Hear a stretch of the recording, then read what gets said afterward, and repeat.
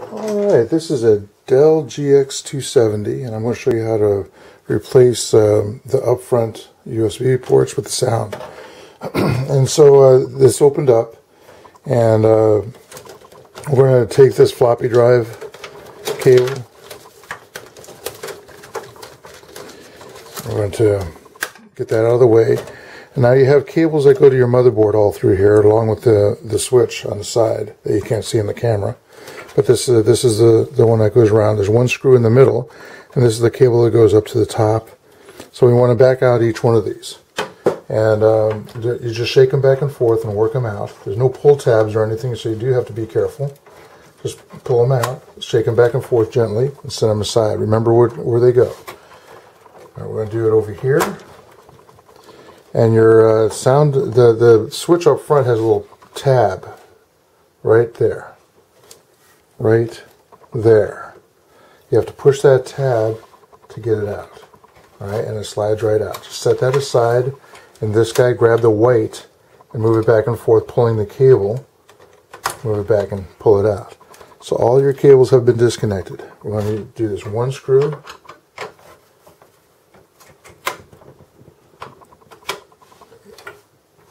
It's a Phillips head screwdriver.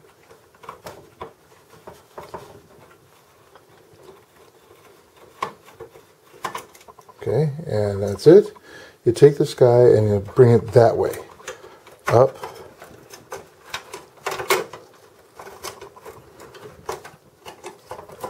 It shouldn't be that hard to do. And out. And there it is. There's you up front. Um, normally this is what goes bad. People uh, put USB uh, uh, plugs in there and they move them around. They draw them around they go bad.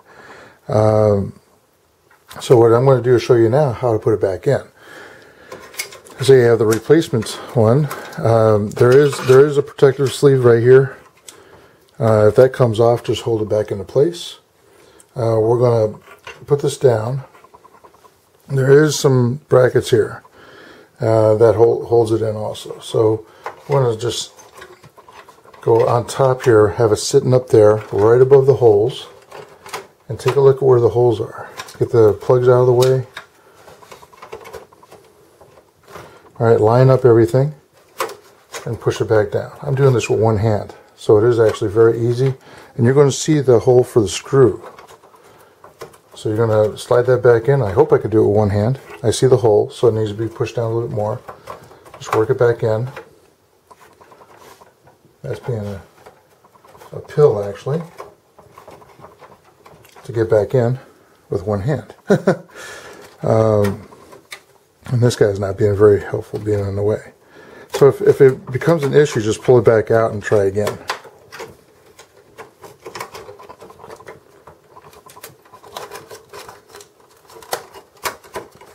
Okay, just pull it out and try it again. Let's see what's going on. Um, there's nothing in the way.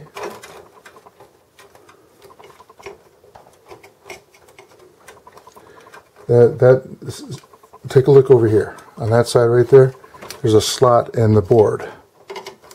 The board has to sit inside those slots. Okay that's what that's where my issue was. And I have done this before I just forgot. So there's a slot there and there's a slot there. So it sits in there slides down and we have our hole. That's why I'm showing you the video if uh, that way you don't make a mistake. We're going to take our screw come down. I'm going to get in the way a little bit with my arm. I'm going to screw that down. Don't cross thread. Okay, should go in nice and easy.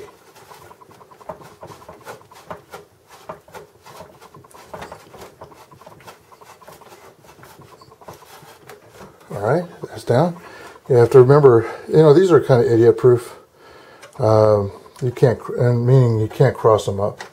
Alright, just make sure you don't uh, strip the screws, uh, strip the things. Now, yeah, there's there's a dead key right here, and there's no key down there, so uh, so you can't get it backwards. It's just like what's on the floppy drives. So just be gentle and slide it back on. Okay, we have a bigger one that's over there, but we want to get all the close ones. If we put this one on over there, we can't see anything else. So, so um,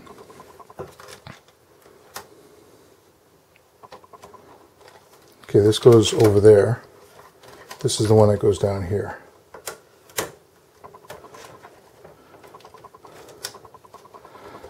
Okay, you can feel when that thing slides back down. Put this guy, this is your switch up front, and put this guy in.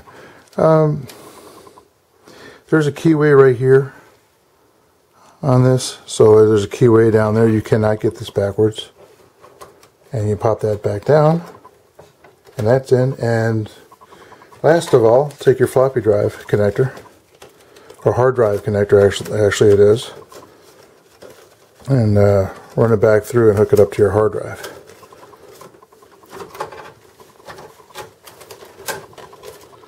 And you're all set. So I hope uh, you found this video informative and uh, go ahead and uh, keep an eye out for some more. By the way, I sell these as I get them on, uh, on eBay for $5. That's including shipping. Take care. Bye.